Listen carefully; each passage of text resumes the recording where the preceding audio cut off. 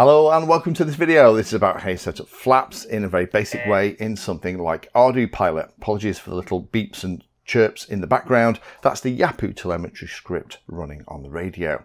But what I have here set up on the bench is a little quick setup to show you how to do this. If you are playing with ArduPilot and potentially you have been goofing around with things like iNav um, and you've come to ArduPilot and it isn't clear about how you set up flaps, then I'll kind of run through it here. Need to say a massive thank you to a gentleman called Tim who has helped with this.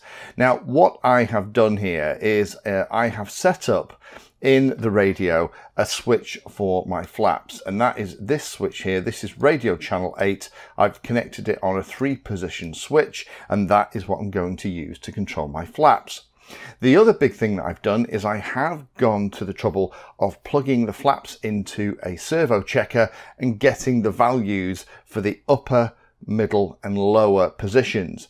Because the flaps on this Heewing T2 Cruiser that I've been building out as part of the ArduPilot for Beginners 2025 series, they are slightly unusual in that they retract into the underside of the wing. So I absolutely don't want to accidentally try and push that servo too far and potentially overstress linkages or break hinges. So what I've done is I have connected the servo checker to just make sure on both the left and right hand side what the ranges are. And the ranges on this are quite small, so I'm very glad that I did that. If you haven't got it, you can figure it out uh, iteratively by just working your way through and doing it old school. However, I would recommend get yourself a servo checker if you're going to be setting up planes like this with ArduPilot. It means you can absolutely set the maximum and minimum and not accidentally damage servos, linkages or hinges. So now we have the radio channel all set up, radio 8. What we're going to do is we're going to go into the config and we're going to go into user params and over here on the left hand side you can see that I've set up RC8 to be flap and that tells ArduPilot that that channel is going to be used for flaps.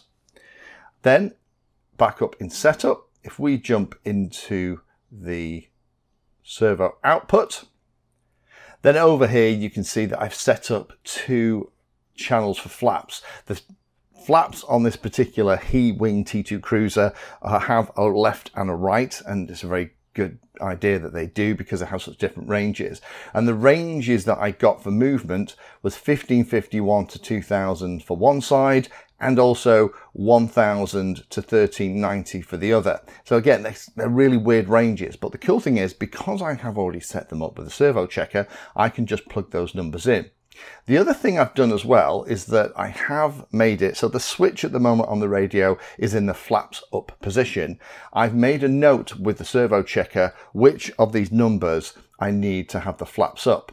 And for this, this side, I need to have, when the switch is in the flaps up position, it needs to be at 2000. So I've had to reverse that, which is what that little button does. So that's great. And then in the other side, it needs to be at 1000. So now, as I flick the switch, you will see it move, but crucially, you will see it move in a nice, slow, controlled state.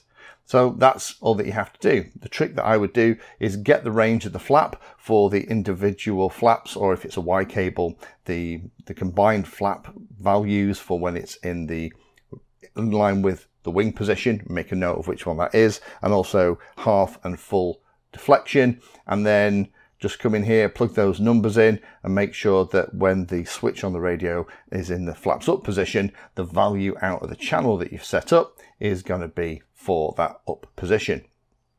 And it's just a case of plugging them in.